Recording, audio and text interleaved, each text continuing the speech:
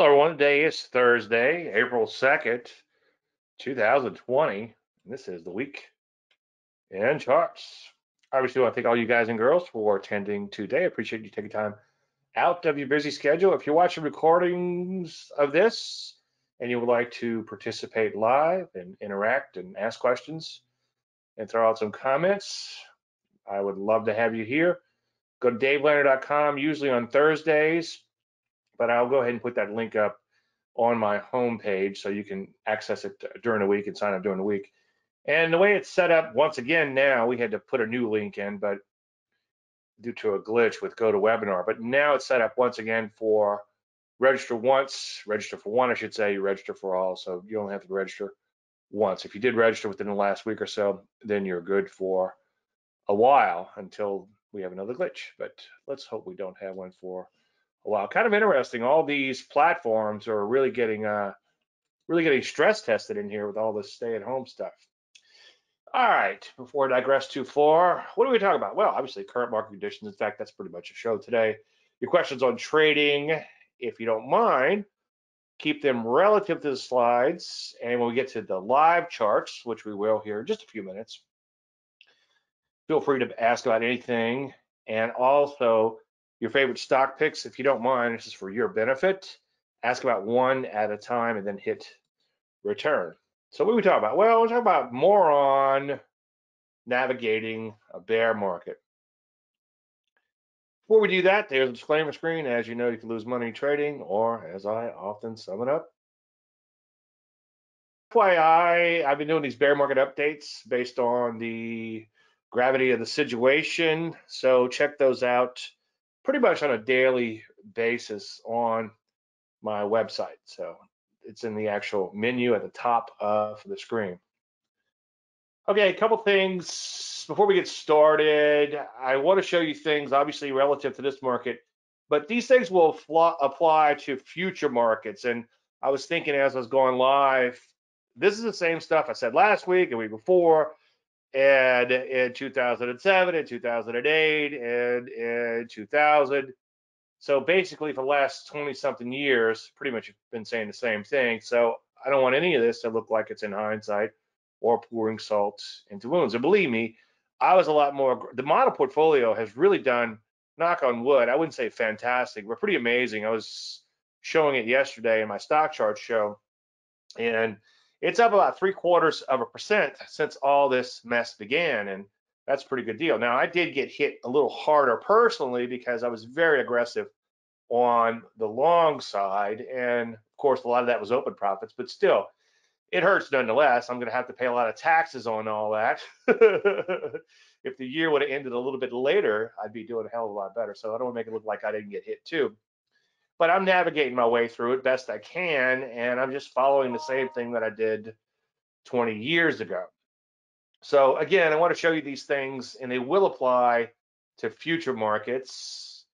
And that's just in case I get hit by a beer truck, or more likely, my wife kills me while we're in quarantine. I think I'm built for this quarantine. I'm really doing well with it because I'm here, as I've been saying quite a bit, 12 hours in front of my screens anyway it's just another day at the office for me. The other people around me, not so much. So again, it's a fluid situation. Check my website for more on these updates. Now, I said this yesterday. I think it's worth saying again. In trading and in life, it, and I guess because this is my own show here and I'm paying the bills, I could say it shit goes south fast.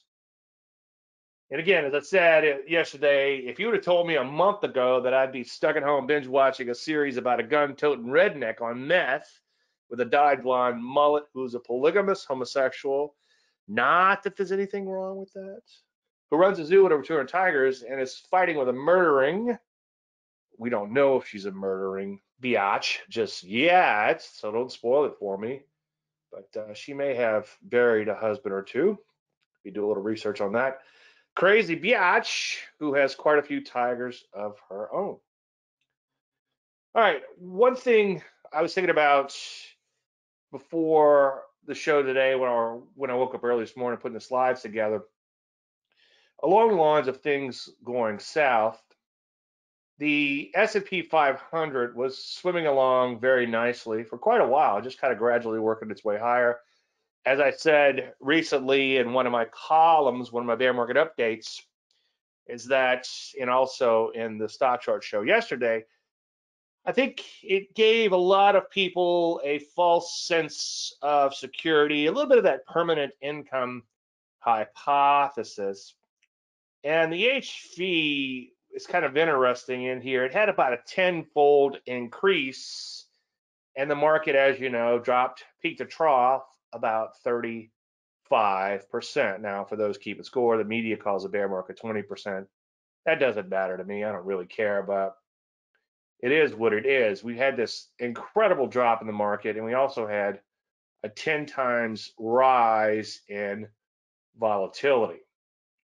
Now, as I recently said, a family member called me in a panic a week or so ago about her conservative investments, and she had called up the broker and he said, Yeah, we'll put you in this managed account. We'll put you in some conservative investments. She's a little bit older and she has some health concerns and she may or may not be able to return to the workforce. So she kind of qualifies, no offense, but she kind of qualifies in a category known as widows and orphans. So one of the things they put her in was a big cap conservative fundamental fund, and that makes a lot of sense. These are well established companies and they have lots of fundamentals and they have really good earnings and all these other great things. Well, what happened there was one of these funds lost nearly 50% value, and at the same time, the volatility increased tenfold. Now, I'm using 50 day historical volatility, and without showing you how little I know about statistics, but it's my understanding. And there's a few caveats in here which aren't necessarily true, but assuming a normal distribution, and markets aren't normally distribution distributed, you tried to say, and all things constant, and obviously all things aren't constant. The HV gives you a decent reading on where the market will be within that two-thirds statistical standard deviation type of thing a year from now. Okay.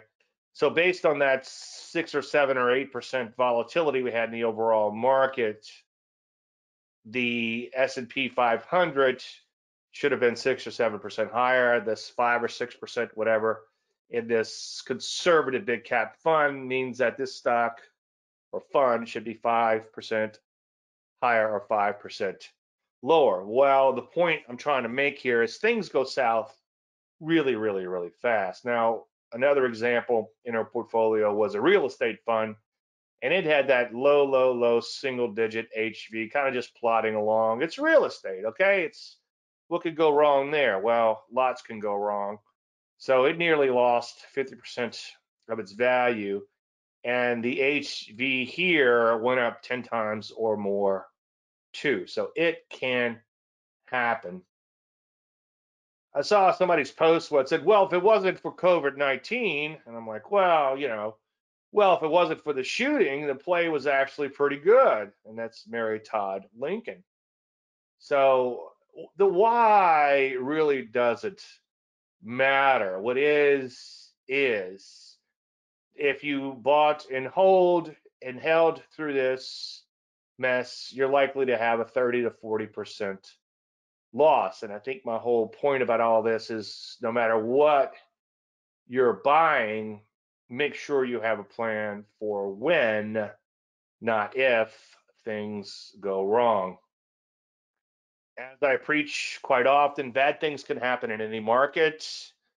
And it seems like in more recent times, all of this is exacerbated. I've seen many asset classes lose half of their value over my lifetime, my short time in the markets, in the stock market. This will be the third time it loses, hasn't done it yet, but it, it might lose 50% of its value. But I've seen 2000 and 2008, 2009, and then obviously this mess that we're in now. I don't know who said it first, but it's very true. All asset classes will lose half of their value at some point in your lifetime. So you have to brace for that. You cannot be swayed by the Kool Aid drinking buy and hold people, the asset gatherers are the absolute worst in the world. They drink the Kool-Aid of the firm and they go out. They don't do any. They don't do any portfolio management. They just go out there and grab some assets, and uh, they get into a lot of trouble by saying things like, "Oh, we can't get shaken out. We're in for the long haul." Well, I know I'm going off on a tangent here. I didn't mean to go off on, but the long haul is so long haul is at least 25 years or more because if you go in and just plot the S&P 500 and go back to let's say 1920 there's been times when the market can go 25 years or more without making brand new highs a lot of people don't believe that because they've been brainwashed from the Kool-Aid drinkers so a market to recover as I often say a lot of these buy and hold metrics, it's like there used to be a guy on the radio. I guess he's still on the radio. I don't listen to him or anything, but somebody emailed me once and said he says that you could get in mutual funds that pay 12% and implying that it's guaranteed. It's like, well, I think that goes to some of the Greg Morris research, where these buy and metrics are based on an 81 year time horizon. And as I often joke and have little slides with Sweet Brown pops up, Ain't nobody got time for that. Speaking of old Abe, I think Abe would have been a pretty good trader. The best thing about the future is that it comes at you one day at a time. And that means in markets that things get bad before they get worse. So again, this is something that I was showing just yesterday Although things go south fast, usually there are signs and signals at the turn. Things get bad before they get worse. At the most basic level, a market, and I use 10% for the S&P 500, it might be 20% or 30% or more in a volatile stock like a biotech. Unfortunately, right now, everything, fortunately, unfortunately, depends on how you want to look at it, but everything is volatile now. As I'm going through my scans, it's like I've got REITs with like 150 HV. I've never seen that in my lifetime. Now, I'm going to go off on a little tangent here. One thing that I want to emphasize is that anything can happen. And as soon as you say, wrap your head around the fact that anything can happen, that becomes quite liberating for you. So this stodgy little conservative big cap fundamental fund could and did lose half of its value. The REITs could and did lose 35, 40% of their value, kind of like the S&P just did. The REITs, who are normally pretty boring with a single digit HV, just bore you to death, but they plod along forever and you make a little bit of money in them a long period of time. All of a sudden, that HV skyrockets to 150% or more. So anything could happen. Now, getting back to the S&P 500, as I've been preaching, at the most basic level, if a market's going to lose half of its value, it's going to lose 10% of its value for. And 10% is a good round number in the S&P 500. I can't guarantee you that this will always work, but if you go back to the Great Depression, if you go back to the 70s, if you go back to 1987, if you go back to 2000, if you go back to 2007, early 2008, and of course, this little mess that we just went through, the market lost 10% of its value long before it went on to lose 50% or more. So you can see we did have that little 10% drop back in March. And back then, we had what a first thrust down, we had a bow tie down on an hourly basis. As Jim pointed out in the Facebook group, we had a bow tie down in the hourly. Thanks for pointing those things out, Jim, again and just a plethora of other signals in the 10% TFM system, which to my disbelief or kind of like amaze me is a weekly sell signal triggered before a lot of this daily sell signal stuff began to trigger right around 3000 i think it was in late february triggered. We'll take a look at the i think the spreadsheet's still in here somewhere. So anyway things get bad before they get worse. And uh, Charlie Bilello and Michael Gayed, as, as I said recently, from I got this from a presentation by Arthur Hill. Which I was part of, the Navigating a Bear Market presentation, they said that bad things happen below the 200 day moving average. Years ago, if we had a, a, a long only system and I was doing the programming on it, and they they the person who hired me was trying to make it work, and if it doesn't work, they would say, well, put a moving average in and don't take longs below the 200 day moving average. And believe it or not, many times just something simple as that would make it work. Now, along those lines, uh, of Mr. Bilello and Gayed, as they say, bad things happen below the 200. Well, I think bad things happen below the 10% line. And the 10% line is the 50 week closing high less 10%. Now, I know I've been beating a dead horse on these things, but I think it's worth showing one more time. So, as a general statement, you want to be long when you're above the 10% line and short when you're below the 10% line.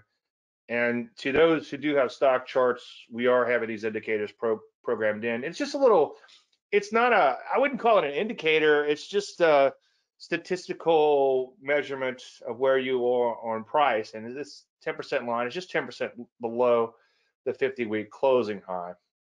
But you can see there's some whipsaw here and there, but your really, really ugly markets happen when you cross below that 10% line. So you better pay attention once a market loses 10%. And again, in case I get hit by a beer truck and get killed by my wife, just remember that in the future. And again, this is the measurement.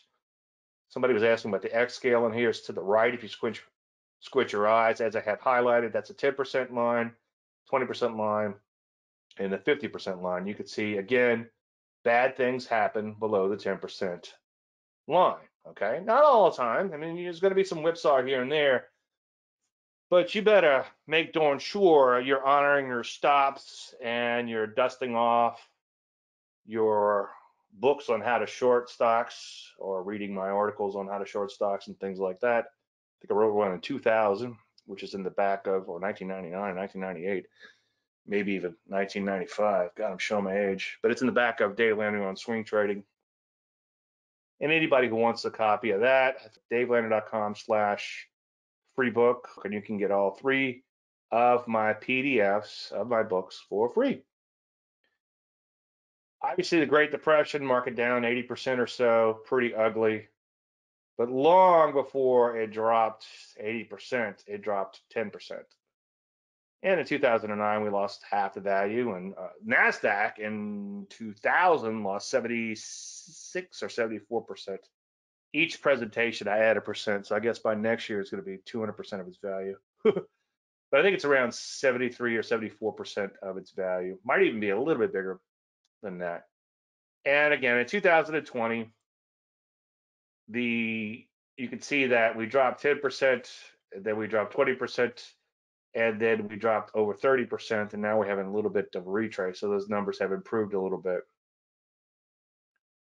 Now, one thing that I've been seeing out there, and they've been using a variety of measurements. I guess average true range would be a good one, and it might be worth studying. But their point is that markets bottom on extreme volatility. And my thinking is they're probably right, but the timing could be a little bit off. And the bottom line with me is, as I've said several weeks ago, I've been saying for several weeks, what's it going to take this market to bottom? Well, it's going to have to stop going down. Okay. And that's my Captain Obvious statement. So instead of trying to make it more complex than it has to be, and believe me, if you want to, or, or it, it's fine, go out and do some research with some of these things, such as volatility and uh, kind of caution you an overbought, oversold because that could get you in a lot of trouble. But if you want to go out and do that research, by all means, do it. But for me, I've been trying to boil down trading over the years to make it more and more simpler. And then I think that's why I ended up trademarking Trading Simplified. Is that let's just wait until the market starts going up, and then we'll decide whether or not it's a bottom. As a trend follower, as a preach, you're going to be a little late to the game. So one thing I thought I would play with this morning was Let's take a look at HV, which is pretty extreme right now. And you don't have to fully understand volatility in formulas and the logarithmic price change of day over day and whatever all this other garbage is to create this formula. It's kind of like you just, if you need some light, you just flip on the switch. You don't have to know a whole lot about electricity. So just know that this is kind of, uh, it's a great way of looking at data. If you're looking at how a stock reacts to the overall market, you could look at the volatility. So you look at those REITs a few months ago or a month ago, and they're like, oh, they're like at 6%, the market's at 10%, so they're less volatile than the overall market. Well, that's all things constant. Obviously, things change quickly, but we could see volatility did peak back in 2008. And if you look at that, that's right about the time the market bottom, right? So we had a bottom in the stock market, a peak in volatility, and right now we have possibly a peak in volatility and maybe a bottom, right? Well, the world is pretty complicated. First of all, the peak in volatility will be in hindsight. So I, I think the S&P at an HV of 65 is pretty absurd. I think that's pretty high. Okay, it seems a little bit overdone but it was 75 in 2008 and then maybe a little bit higher about 80 almost and then that was the peak of volatility. Well if we look at when that happened and draw a line to the right the market actually dropped another 27% and, and, and again keep in mind that that peak in volatility is in hindsight. So i'm trying to think initially I wanted to prove how how off you can be with this type of market timing. But maybe there's a positive spin on it. When you see volatility begin to drop after it's been extreme, then maybe the clock is ticking for the market to bottom out. Okay. I don't know. I don't think the point I was trying to make coming into this presentation is that you can't time off of an indicator like this. Look at it, understand it, see what happened back in the 20s, see what happened back in 1970s when things were really crappy, see what happened in 87 and the what was it, Asia crisis. What do they call that? The Asian crisis. And now we got the COVID crisis. You know, just take a look at what happened all these crises, crises. Is that how you say that over the years? Anyway, the volatility, yeah, does peak out before the market bottoms, but those two don't line up, and you could be off as much as 27%, obviously, or more. So just be really careful doing those things. Lately, I've been talking about possible scenarios, which come straight off my cocktail napkin approach. I guess if things weren't so crazy right now, I'd say send me a self-addressed stamped envelope and I'll send you a cocktail napkin. But my theory is thrust, pullback, thrust, pullback, thrust, pullback, hopefully rinse and repeat as a trend follower. And the same thing goes to the downside, thrust, pullback, thrust, pullback. So we've had the thrust down, we've had the pullback, so are we in the next thrust lower? Well, one thing I was thinking about, and again, thrust, pullback, thrust, that's kind of a perfect scenario I have drawn in here. But the reality is a market will do the obvious and the most unobvious manner, and a corollary to that is a market will do what it has to do to fool the most amount of people. Now, the second corollary there, we've actually kind of used, or actually kind of both of them, to our advantage with something like the trend knockout, because the market is obviously headed higher, but then it's a big knockout move to scare people out, to attract some shorts, and then it goes straight back up in an obvious manner. And the predicament of those traders helps to propel your position higher. So I doubt very seriously, based on those two corollaries, which I got from Linda Raschke, FYI, and I asked Linda, and she's she says, ah, I didn't come up with that. It probably got it off the floor somewhere. It's a floorism back back in the day when she was on the floor. So anyway, I think this market will return to its old lows out of this pullback, and that's my whole bread and butter, right? Trade these pullbacks. But I don't think it's going to be a straight line. I think it's going to look something like that, and that curve can be shifted up or down. The bottom line is I don't know what it's going to look like. I also think this market could have a pretty deep retracement higher. Everybody will think everything's fine, and then it could roll right back over. I think it's important that you come up with some scenarios, some conceptually correct scenarios in your mind. So when they begin to play out in the overall market, you kind of have a feel for what's actually happening.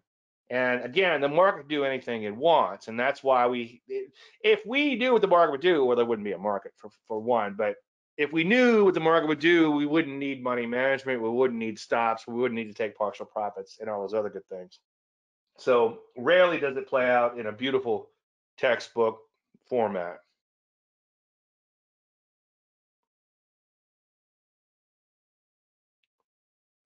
Now, again, I've been saying this for a few weeks with the buy and hope crowd. It's like nobody bothers to learn when things are good, okay? And I guess that's just human nature. Permanent income hypothesis kind of creeps in. The market's always going to go up. The market always does go up, right? Well, now after everything blows up, my phone begins to ring. Friends and friends and family. My wife calls me the other day, and so and so, one of her friends of a client or whatever wants to know about the market and i told her i said if only i had a website where i would talk about what i'm seeing in the market that would be that would save me so much hassle okay and the good thing is as one of you guys pointed out i'm saying the same thing now that i said 20 years ago so that was a, one of the biggest compliments i think i've received in quite a while that I am kind of consistent in all this, or I think I am at least. So nobody calls me until they're down 50%, and that's the problem. Is the bomb's already blown up? It's kind of damned if you do, damned if you don't. I know I'm beating a dead horse because I said this before. I think the only advice I can give you, and I can't give direct advice because I'm not a registered investment advisor. The only thing I can give you is that maybe on these retrace rallies, you might think about selling down to the sleeping level. And one individual I'm thinking about now had some health concerns and close to retirement and probably can't return to the workforce at least in the foreseeable future and and then quite it might be quite a while and they had they had to sell down to the sleeping level and as i often say in my last update i did on my website quoting mary mcclellan who was tom mcclellan's mother, late mother. People buy and sell stocks for a variety of reasons. Some people buy when they have money. Some people sell when they need money, which is the example I'm making here. And other people use far more sophisticated methods. A lot of gurus picking bottoms, predict early and often. They've been picking bottoms for weeks now. Anyway, long story endless, sell down to sleeping level. And in some of these cases, some of these people, through buying hope, because buying hope has worked, pretty damn good over the last, oh, I don't know, nearly 10 years. A lot of what they lost is open profits. So be willing to sell down to sleeping level if that's what you need to do. Okay.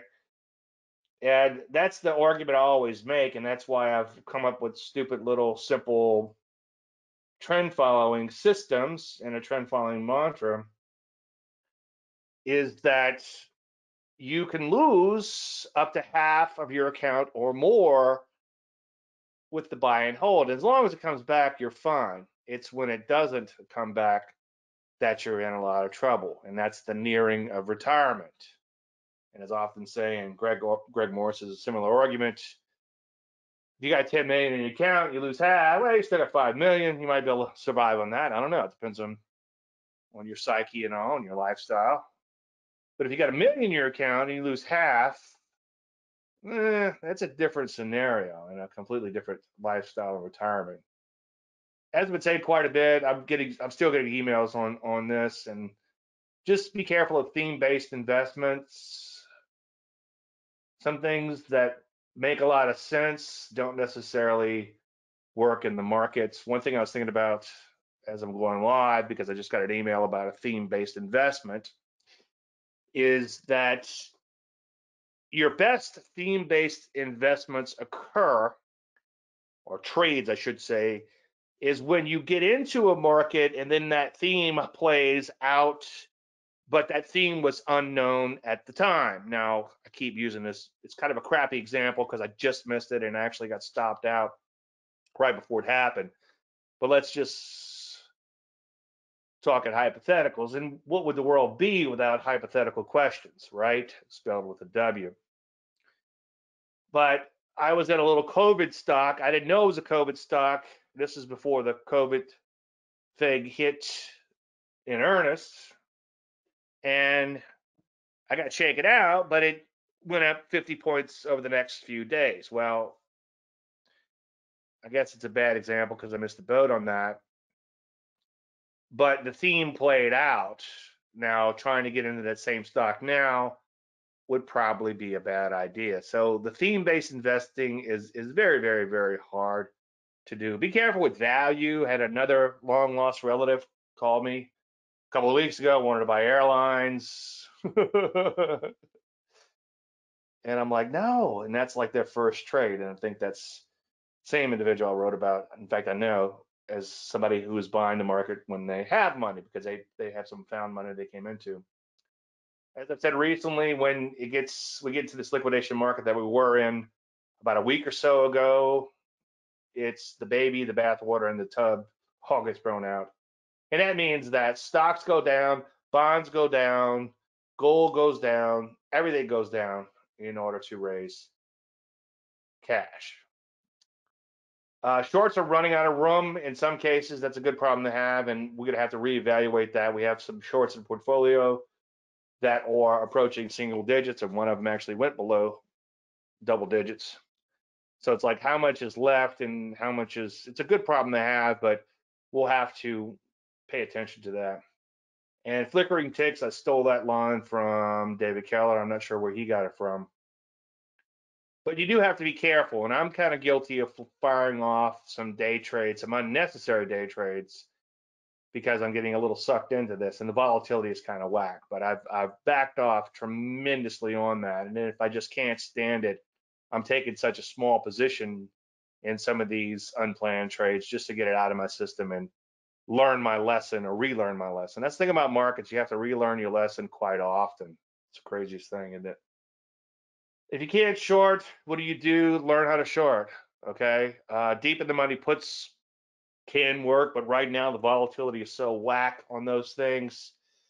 Even the deep in the money puts, it's going to be hard to make money on options. I did spend 14 years in a hedge fund that just traded options, which pretty much taught me to tread lightly in trading options after all those years. But I do have quite a bit on my website in the members area under the Q&A and, and this is why I created all this learning management system and all these courses and all this stuff that's in the members area. One in case I get hit by a beer truck or get killed in, in quarantine by my wife I guess I shouldn't make that joke and two, because it's inefficient for me to teach everybody on a one-on-one basis over and over. So go through the courses, go through the Q&A, get up to speed, and then if you still have questions, ask questions. We'll cover them in the Q&A, or ideally bring them up in the Facebook group and we'll sort it out there. Anyway, a lot of gurus have been picking bottoms, as I've been saying quite a bit. So speaking of the Facebook group, we're not really made to be alone. And this is why this quarantine, as some are beginning to fear, is going to have some unintended consequences, unfortunately. And Dr. Robert Maurer has done some really good research on this. As I've said in prior weeks, read The Kaizen Way, which is pretty good uh, one of my favorite books from him, but also read Mastering Fear, and he talks about it in there. And he also was speaking at a conference that I was speaking at a few years back, and he talked about the importance of interactions with other human beings. And as my wife has said, this Facebook group has been the best thing that I've ever done. It really has been for me. Ask for help. You know, get in a Facebook group, ask for help. If you need help, be prepared to do your homework, okay? If you want to learn how to trade, it's like this long lost relative. I, you know, I'll set her up with all this stuff. She just wants to jump in and start trade. She wants to jump in and buy airlines, you know, three weeks ago, whatever. It's like, no, that's that's not how it works, Beatrice. That's not how any of this works. You're gonna have to get educated. So feel free to ask for help. Not a sign of weakness, it's a sign of strength, but just be ready to do a lot of homework. The other thing that's great about the group is we've got a good group of traders and they're pointing out setups and the trades that they're taking. And in some cases, they'll point out signals in my stuff, which I might not uh, have even noticed myself. So it does help to have an extra set or eye of eyes or an extra dozen or two dozen or three dozen set of eyes. Anyway, I'm also I also try to throw out something not that I want to be more active, but every now and then something comes along that might be worthwhile. Like ZM trade today, I threw that one out. It worked out, knock on wood. And the opening gap reversals is what I'm referring to. And we talk about those quite often. And the $4 million challenge, which hasn't done so well as of late. And I've been so busy with everything else going on that I've kind of let that die out a little bit. But I do plan on getting back on that. These gurus out there that claim to make all this money, they never tell you ahead of time and show you ahead of time what they're doing. So I figured it'd be fun to do that. Anyway, the Facebook group 100% free with the big old caveat, right? you have to be a gold member of DaveLandry.com, and that's just to keep the riffraff out. I'm half kidding. So you can go to these URLs to learn more about that. Let me just freeze that screen for a second. All right, let's go to live charts. You guys any any questions on anything? Feel free to start asking now. Let me just shift gears here. Let's get to the live charts. The market's kind of unfolding and, and kind of, I hate to say this because it sort of sounds smug, but it's kind of doing what it does in a downtrend. It's it's kind of like it's no longer shocking me or anyone. I mean, I guess it's shocking some other people, but I mean, it never did shock me. when It would begin to fall. I mean, I, of course, I dropped some meth bombs, and I'm I'm going to have the T-shirt soon. who posted that in the group? Was that Jim? No, it was Chris. I forget who, but uh, I immediately ordered one. It's funny as hell. I'll get a picture of me in it soon. But it kind of unfolded in a in a somewhat perfect manner. Okay. It was perfect. It was perfect. We had a perfect sell off. We had the perfect little pullback. We had the perfect signal in the 10% system. We had the bow ties. I guess my Arnold Schwarzenegger has become uh, Donald Trump, or rather poor Donald Trump, I might add. But we had the thrust down. We had the pullback. We had the bow tie. You know, we had the bow tie. You can see triggered back here about 3,000 a few days or a week or before that triggered, we had the TFM system. And the point I'm trying to make is one, it's kind of unfolding in a normal kind of manner. And things that worked years ago, such as the the bow ties, I don't want to say the TFM 10% system because I, I've, that's only been published for about two years, I guess. But things that I discovered long before that, such as bow ties in the mid 90s and daylight, even going back further, I think the first public mention of the or Landry light, as we now call it, was in 1995 in an article I wrote for Stocks and Commodities, which you can find online for free, by the way. Just uh, look for 220 2 slash 20 EMA breakout system was a little forex deal that I'd worked on back in the day. Anyway, thrust, pullback, okay. First thrust, whatever you want to call it, bow tie, okay. Inverted cup and handle, as I'm seeing it looks like now. And then thrust, then pull back, and then what's the what's the mantra? Thrust, pull back, thrust, pull back, rinse, and repeat. Now again, we've having a, we're having a pretty good day today, okay. That's funny, you know, pretty good day up 1.78 percent 1.77%, 1.76%, 1.75%.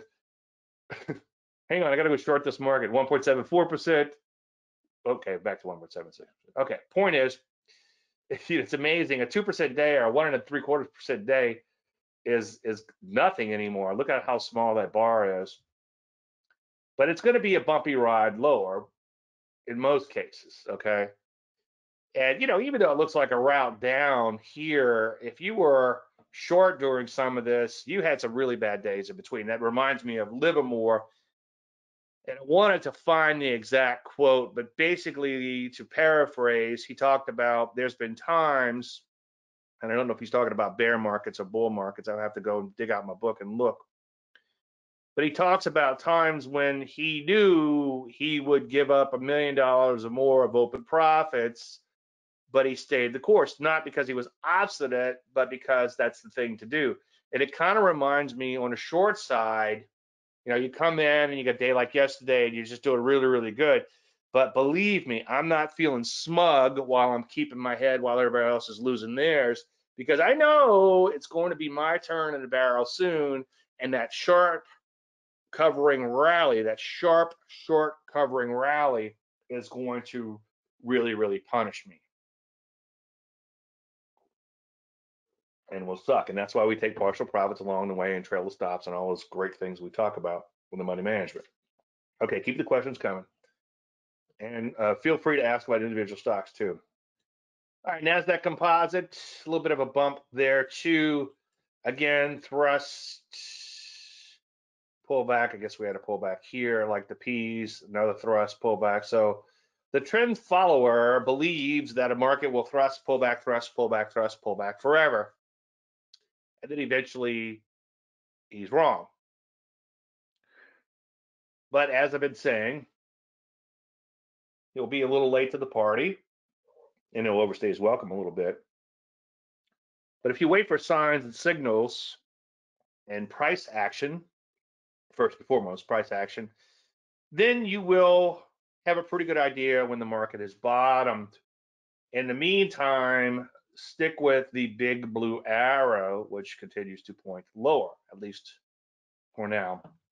But keep an eye out on the daily moving averages, the bow tie moving averages.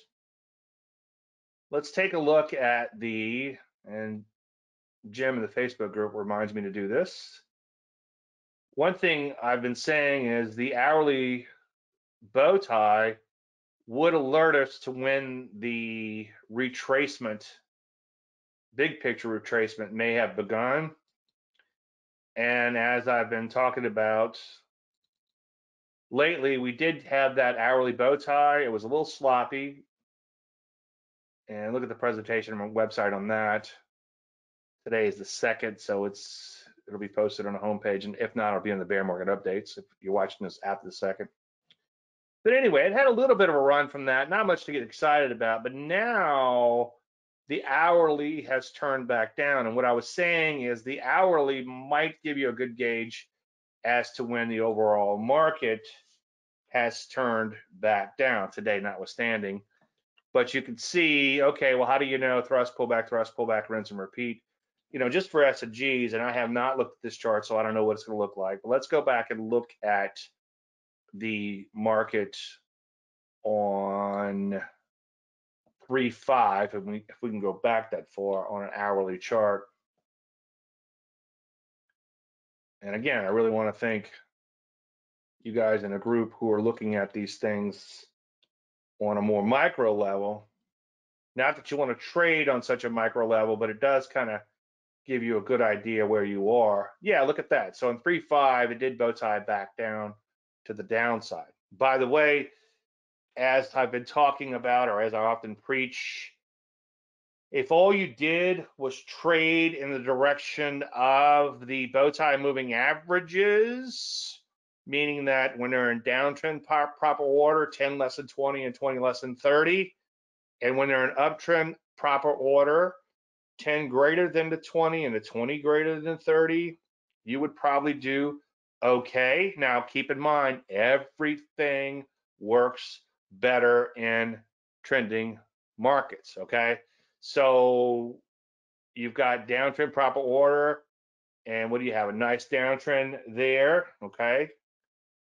10, less than 20, less than 30. Okay. And then they kind of meander around for a little bit. And then what do you have? You have downtrend proper order, okay? And then you have uptrend proper order. And then now let's zoom it in a little bit and see where we are. This is an hourly chart, okay? And now, once again, you have downtrend proper order, okay? Now, this is not to say that it might get choppy, might not get choppy, or might get choppy in between, because it will. But in a trending market, I guess that's a little caveat there, the bow tie moving averages, whether you're looking at an hourly chart or a daily chart or a weekly chart, if you have proper downtrend order, you want to be following the market lower, okay? If you have uptrend proper order, you want to be following the market higher.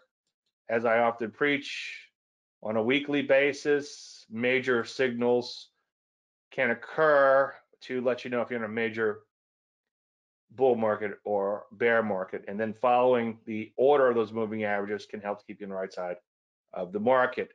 Now, this last slide happened so fast, these moving averages, even on a daily basis, took a little while to catch up. But hey, you know what?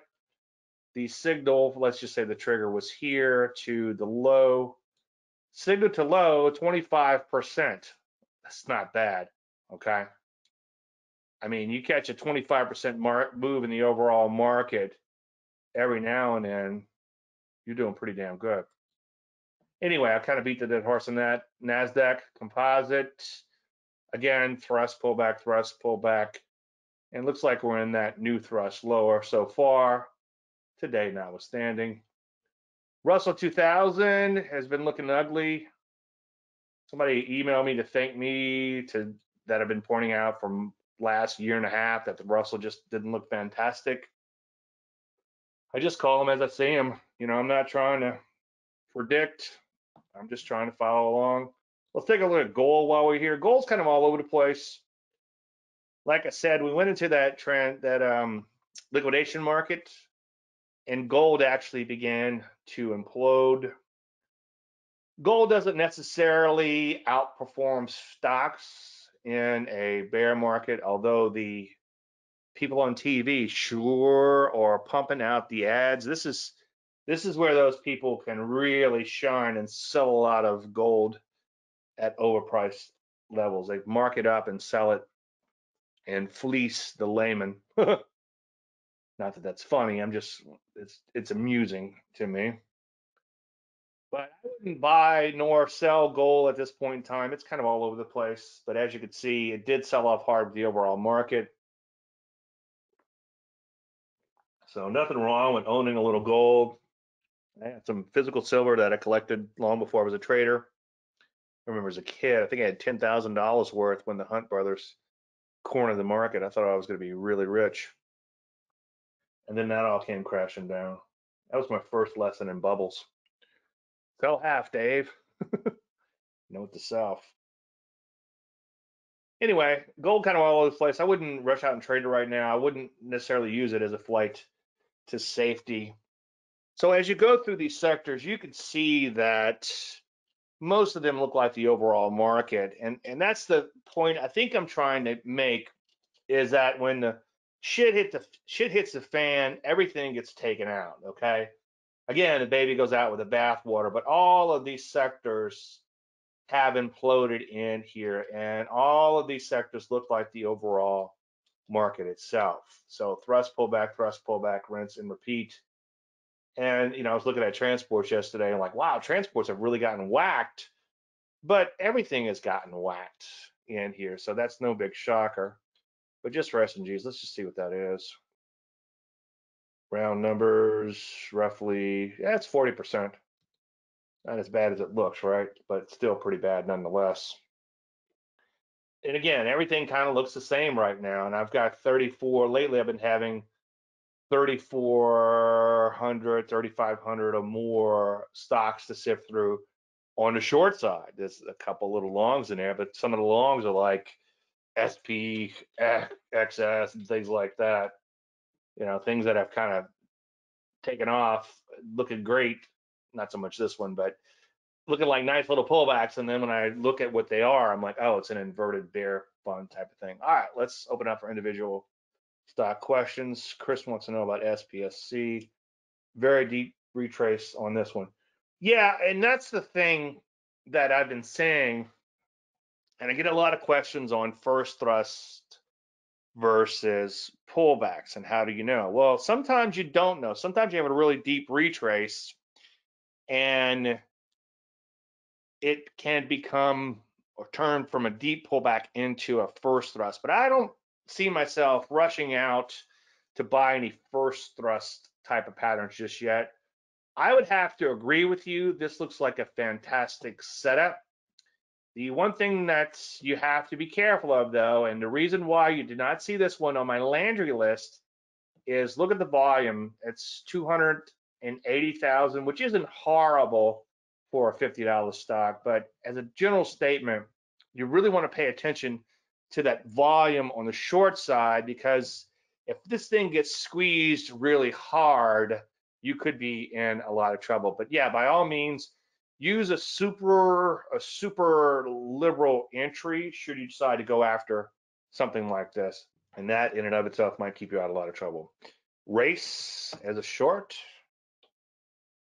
Yeah, so if this one was a little bit more volume, I'd give you a high five on it, but it's not bad. Race is Ferrari. And let's back the chart out a little bit. Okay, one thing I like on the short sides, I like when stocks are coming off of all-time highs. If you go in and look at the portfolio, PAGS was a short back here, way back here, okay? And we had Tractor Supply was a short way back here, okay? Uh, in more recent times, HEGL was a short right here after the stock came off of all-time high. So you can you look at all the shorts that I recommended recently.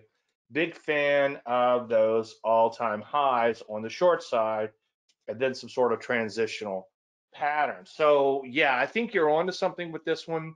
It can be a little wide and loose. Okay, I don't want to confuse the issue with facts, but I can't imagine that anyone's going to rush out and buy a Ferrari right now, given the nature of the uh, the overall market. I've been to the Ferrari plant and mostly gift shop, I should say. I've also been to the uh, Emilio Tomasini was really kind. He had me over there to speak once, and uh, he took me to uh, Pagani. I hope I'm saying that right. Um, one of the Chris's, I think, is in the race, and went to Pagani, with the Lamborghini, with the Ferrari. We passed by Maserati. It's it's amazing. It's like this one little tiny area in Modena, and all of these companies are right there. The uh, Pagani shop actually, they actually let you go onto the floor. It's like they're building go karts, and uh, you can smell the resin in there. They're in there just kind of forming the resin by hand on these cars, and it's just it's little. I mean, it's like a little shop that that's you know small complex and very very small. Anyway, before I digress too far, uh, went on the Ducati floor. That was kind of fun too for you race fans and motorcycle guys. My wife won't let me have a motorcycle. But yeah, I think this looks pretty good. It's um, you know, it looked a little better a day or two ago, but I think it's, it's I think it's worth a shot on the short side, Steve. So a uh, good eye on that one. Here's the thing, and I don't want to take away from Steve's pick because it's a good pick, but I have, uh, like I said, 3,500 shorts, and a lot of them look kind of like the overall market itself. But no, that's a good looking stock. A little wide and loose longer term. I think it's in a lot of trouble. I certainly would rather be short this than long, for sure. CHDN. Yeah, this one looks pretty good. Uh, you actually, you know, ideally, you you do like these deep pullbacks. So this is a pretty deep pullback. Volatility is a little whack in here. What was Ferrari? Ferrari's only 65. That's that's less than the overall market. How crazy is that? But this CHDN looks pretty good. The volatility, usually when something's over 100 in volatility, I warn people it's a little dangerous to trade, but everything is so high right now. But yeah, this looks pretty good. Uh, this kind of has a witch's hat look to it, a witch hat look to it, not exactly the pattern. But what do we have? We got nice, nice persistency, which you normally don't really get on the downside, okay? Meaning that it tends to go down day after day after day, and you can draw a line through nearly all the bars. As I preach mathematically, that's equivalent to linear regression. So just for S and Gs, let's draw a linear regression line, and look at that. Okay, close your eyes and open your eyes. Which one of these is the trend line that I drew, and which one of these is a linear regression line, okay? They're pretty much the same. So if you're trying to wrap your head around persistency, then play with this little linear regression here, which is available in other chart packages too. But you can see you did have some nice persistency coming into this move, but that all changed really quickly. So yeah, this looks like a short. It's already sold off fairly hard though. I mean, it's already dropped 17 points from the high. I mean, you probably would be triggering in eh, around 90 something would be, maybe about 90 would be a good trigger on that. But now it's kind of dropped since. But I think it still has a lot, a lot more downside. So put it on your watch list for sure. Chris, good eye on that one. TWM, well, TWM is going to be the inverted shares. I don't like to hold these guys overnight. This is the inverted Russell, and I think it has some leverage to it. But yeah, you know, I mean, this is kind of like asking me about the overall market, okay? Yeah, what do we just say? Thrust, pull back, thrust, pull back, and then for the trend follower, I don't want to say hopefully because I don't want it to go down. I, I don't want this market to implode. I'd rather go up. But as a trader, we have to do what we have to do. You know, it's like a lawyer friend of mine uh, very, very serious Christian, you know, I asked him like, well, what do you do with, you know, maybe some of the things you do as a lawyer aren't necessarily Christian because you might have to defend the bad guy. And he said, well, you know, one for bad guys, I wouldn't have a business, you know. So there's this kind of ethical thing. I don't want to get too far into that, but we're a trader. We short. Okay, that's what we do when markets go down. So there's nothing bad or good about that. It's just what we do. It's how we make money. And believe me, when we have to, we are forced to cover, our buying helps out other people. I'm not trying to justify it. And the thing is, it's like they make it sound they make it sound in the media like we're these evil people. Well, believe me, we'll get our ass handed to, to us quite often. So Zach, yeah, you know, IWM is uh, TWM is just the opposite of IWM and draw your big blue arrow. But again, you don't want to hold those things overnight. Ed from the Facebook page is asking about oil. Well, tell Ed to come on over. Oil, the ETF. All right, anybody in here can tell me which way this is headed? Okay. Yeah, it looks like it's headed lower, a little bit of a pop in here. That could be a shorting opportunity. Sometimes I look at USO which looks just the same. Okay. Look at that. HV and oil 103. That's just, that's ludicrous. Even Ludacris would say that's ludicrous, right? So yeah, it could be a short in here. Uh, let it bounce a little bit more, maybe. I mean, I know it's a 20% bounce today, but it still doesn't look like that big of a bounce. But yeah, absolutely. Probably not going to argue with shorting things, right? Ring as a short. Well, Steve, it's kind of all over the place, okay? I went long Zoom for a little while this morning, and I think I try not I try to avoid the news, but like sometimes in these opening gap reversals, I like to see what the news is, okay? And I think they said that Ring is going to jump into the ring when it comes to this telecommuting thing there's no setup here for me, okay? So if if you're playing a thrust pullback, the thrust would have to be to new highs followed by a pullback, or you would have to have a long-term bottom in place and a thrust off the lows or something like that. And and then you start looking at buying stocks or whatever the case may be, play those transitional patterns, play the bow ties to the upside, etc. But this is just a V-shaped recovery at high levels, okay? So this is there's no structure here for me. Now this thing might go on a double or triple from here, but so what? There's no pattern for me. And sometimes you just have to walk away. You can't kiss all the women. Okay. ZM long, figure to ZM, ZM long after today's pullback. Um, yeah, it's not bad. You know, you'll this will probably find its way to my Landry list tonight. I'm just not that excited about getting long anything. I mean, today it's kind of exhibit A. This thing just imploded. Okay. And we were I was talking about this one earlier in the Facebook group. I got in at 127, I think. What happened is it gapped lower. So my entry was here above this high. And then as my example of buy and sell for a variety of reasons, I went ahead and bailed out because I had to do this show. I didn't want to have to deal with it. And it looks like I made the right decision on that. But I was I broke my plan, okay, but I but I bought and sold for a variety of reasons, as Mr. McClellan used to say. It's some people I felt like I needed to put a little money in account, you know. So anyway, I think we're in a market now where it's a little bit harder to hold on for those intraday big trends because they they're not really happening.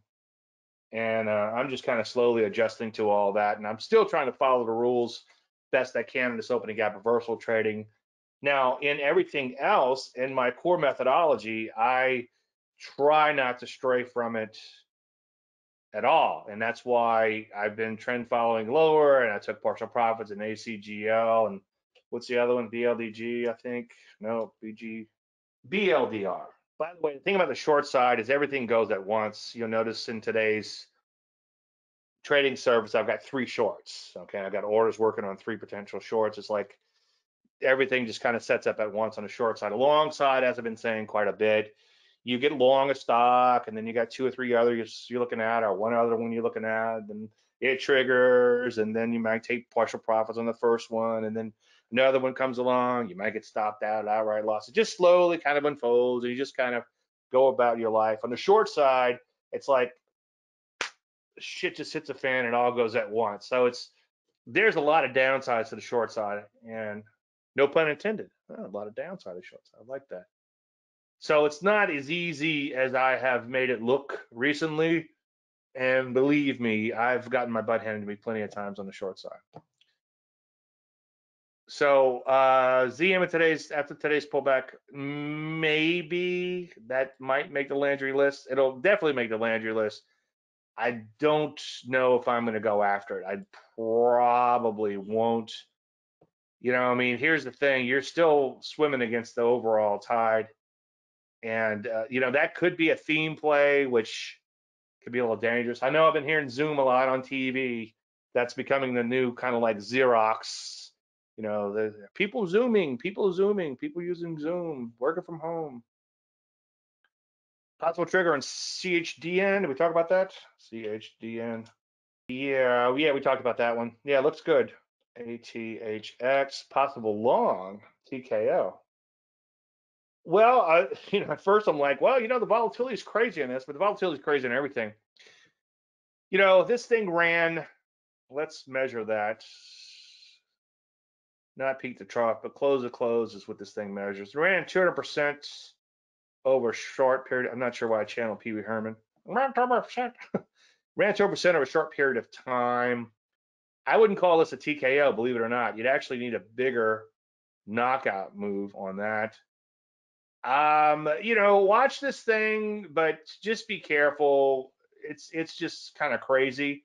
But yeah, definitely put that on your watch list. Tonight that's going to come up in my pullback list for sure. But I'd actually like to see more of a knockout move or maybe a pullback over the next few days on that. Probably won't go after it, but never say never. Let's just see how it sets up. But yeah, definitely put that on your watch list for sure too volatile. And everything's so volatile right now, Donald. It's like, you know, it doesn't look like electrocardiogram longer term. It looks like it's kind of bottomed out. I bet if you zoom in though and get rid of this recent volatility, it's going to look a little bit more crazier. Yeah, I see what you're saying. Yeah, I mean, you know, tread lightly on that one. Let's see how it. Let's. I mean, look at that, 26% down. I think it's going to have to pull back even further. Okay. Hey Dave, I just I am I am on just figured out how to ask a question. Fantastic. Thanks. This is what he said. Dave, what to you, what do you think about oil here? I was thinking about taking a shot yesterday and it did not make a new low, and I'm now kicking myself, not in a row. Well, yeah, you can ask about things in a seminar. That's fine. Whatever you want to ask about. The uh, oop, I just accidentally deleted Zach. I deleted whatever you just put in. Hopefully, it's something I covered already. Um, you know, I wouldn't try to catch a falling knife. Okay, and uh, I mean, I know it's five dollars here. I don't know. Have they? Do they reverse split this thing? How do we show unadjusted for splits?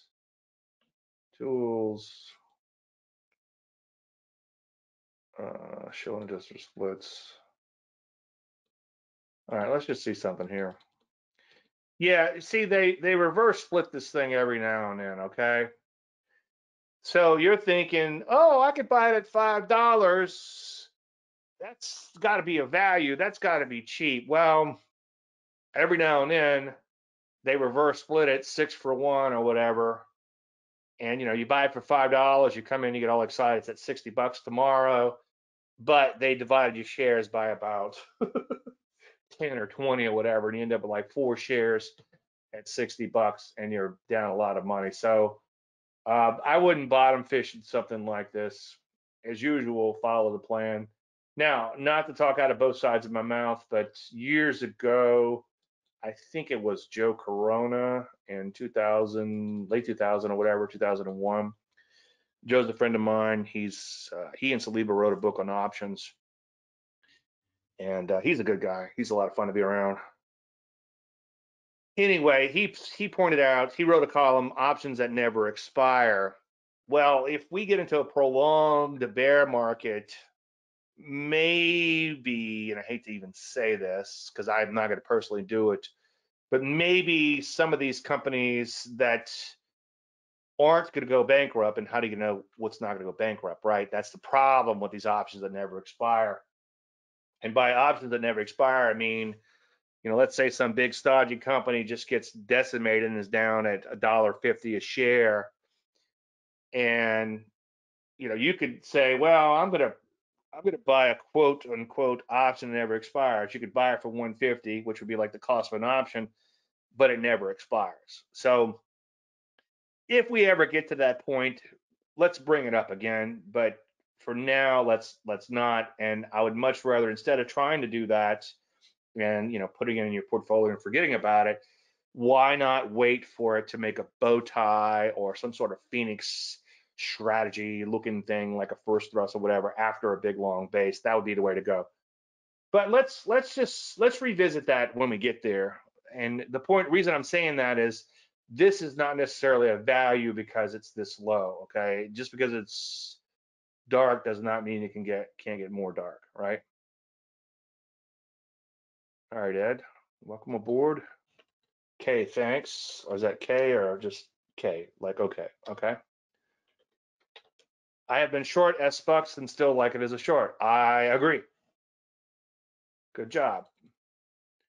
Yeah, it didn't come quite off all-time highs, but close enough for government work, okay? Big slide, and yeah, I tend to agree with this one. Um, it's it's gotten a little choppy in here, but you know, below this pivot low would be a good place to short that one.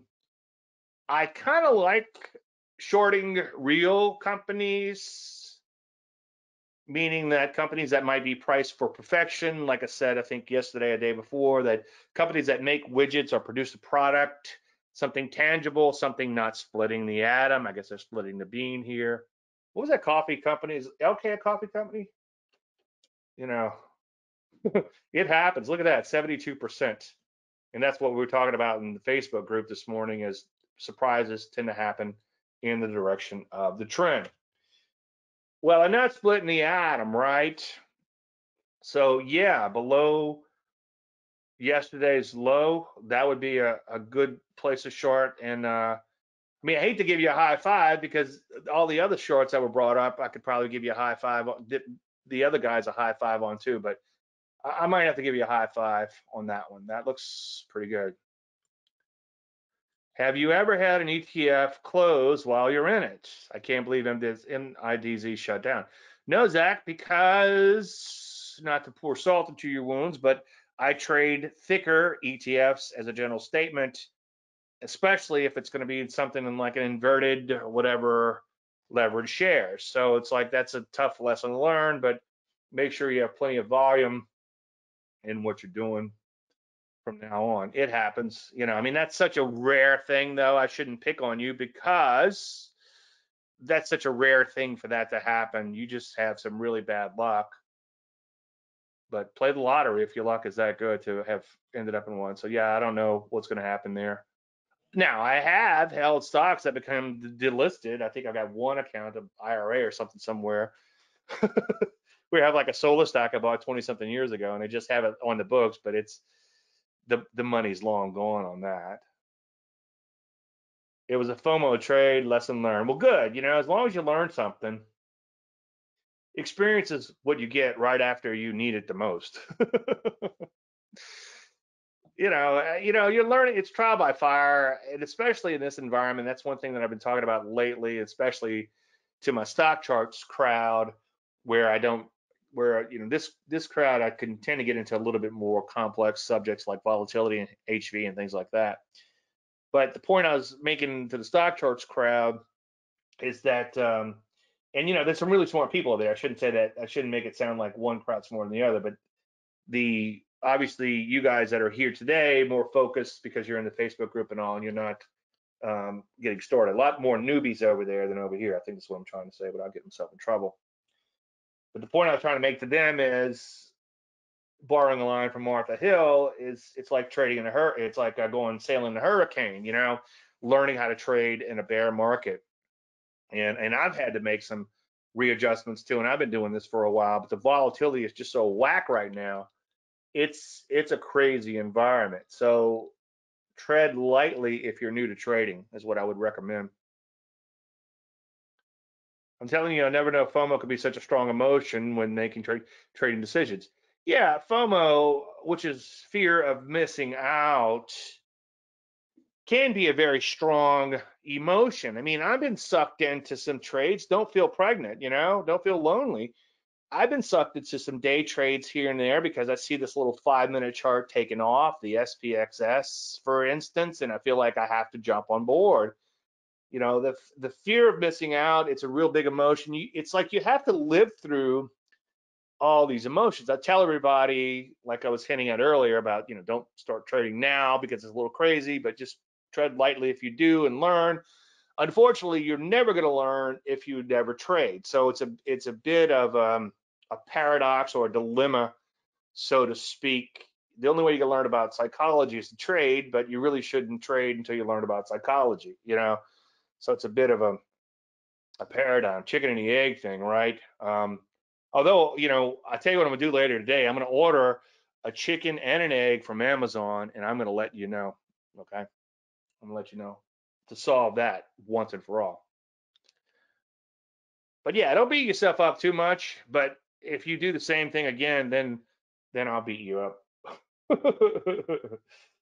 you know, man didn't. What did uh, Livermore say? If a man didn't make a mistake, he'd own the world in a month. You know, but if he if he didn't learn from his, his mistakes, he would he would never learn a blessed thing. I just think you get caught in bad luck on that one. But the only thing I could point to on that delisted stock that he's talking about ETF is that it um, it was a little it was really thin, too thin to trade, I think. Now, if you do have something that has some sort of underlying what word am I looking for? It derives its value from some sort of underlying, such as I, I will trade like FNG. I don't know what the volume is, but let's just see FNGD and FNGU. No, the, the volume's pretty good on that FNGU. I think sometimes these can trade a little thinly, but I feel like this is a little thinner. This is the micro index. It's not that thin, but it's a little thinner. But uh, these things are based on an underline to where the arbitrage will keep them in line. So the point I'm trying to make is with some of these thinner ETFs, you can trade them because they're based on an underlying market, or in this case, markets, the FANG stock, right? So I'm not as worried about the volume on these as I would be on one of these derivative markets or derivative derivatives in some cases. And like the one you were in, which was kind of thin and got delisted. So that's uh, the question. Craig says food is being prioritized. My money is on the egg. Well, chicken's food, buddy. chicken is food, you know. Yeah, for the first time in a while, we're starting to miss that country house. We had the chickens, you know, neighbor had a cow. We probably could do a little bartering with him. in case the uh, SHTF anymore. Okay, Donna wants to know about OSUR. Yeah, I mean, this thing is uh, defying gravity. There's another stock I've been looking at. It looks a lot like this one. I had it in Landry list two days ago. I took it out just because it's kind of crazy. You might hit a little resistance along the way. Volatility is whack, but volatility is whack on everything. You know, maybe on a little bit more pullback, we, we can revisit this one. Maybe not that much. Maybe if it pulls back to say below nine or so, but it's just beginning to pull back. But yeah, put that on your watch list. That'll certainly come up in my pullback list tonight, but it's not quite ready. And then again, boy, it's gonna I'm gonna have a hard time going long anything at this juncture. You know, never say never, but and even this morning I was like uh, on a day trade, I'm like, eh, I just don't feel like holding anything long right now. You know, what's the big blue arrow doing? It's pointing down. Boy, I'm glad I didn't. I'd, get, I'd have got killed on that ZM. All right, any more questions? We've got a couple of minutes left. While we're in impasse, I want to thank everybody for coming. I appreciate taking time out of your busy schedule to be here. Everybody be safe, you know, be be safe and and stay sane. I'm seeing people do stupid things still. Like I can't say who. I love to say who. Throw them, throw them, on, not throw them on the bus. Just point them out. But somebody very wealthy I know went to a pool party, and it's like uh, you would think they would know better, but they had a party and just stupid, stupid, stupid, stupid. All right, going once, going twice. Well, once again, I want to thank everybody for coming today. I appreciate you taking time out of your busy schedule. Everybody hang in there. We'll get through all of this. Any unanswered questions, bring them up in the Facebook group. And if you're not a member of that, you can shoot me an email and I'll cover it next week in next week's Week of Charts.